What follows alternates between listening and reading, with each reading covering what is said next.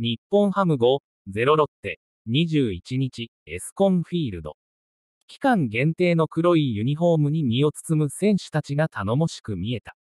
日本ハムは投打が噛み合って今季初の4連勝。貯金3は20年8月26日以来1334日ぶりで、新庄政権最多。首位ソフトバンクが敗れ、1ゲーム差に迫った。新庄剛志監督は、今日は加藤くん、昨日は北山くんがゲームを作ってくれました。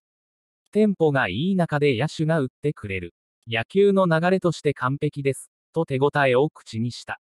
20日の北山に続いて、加藤東斗が完封。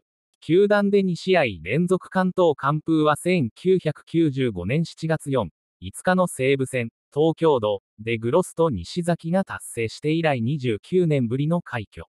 新庄監督は、そういうのはあまり興味がないかな、と無関心。二人が完封してくれたことでしか喜べない、と両投手を称えた。この日は予定になかった会見を行い、このユニフォームをビジター用にしたい、と切り出した。エスコン1周年記念の黒のユニフォームは、この日までの期間限定だが、ファンの方もかっこいいという声が多いので、このユニフォームで5勝2敗1分けというところで、と訴えた。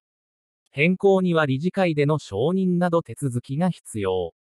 言うだけ言う、トライします、とダメ元でチャレンジする。就任以来理想としてきた1点を守る野球。投手力を中心に実現できていることが躍進につながっている。追いつかれても守り勝っていける。先制されても追いつく。選手がそういう気持ちになってくれるのが一番。手応え十分の貯金さんだ。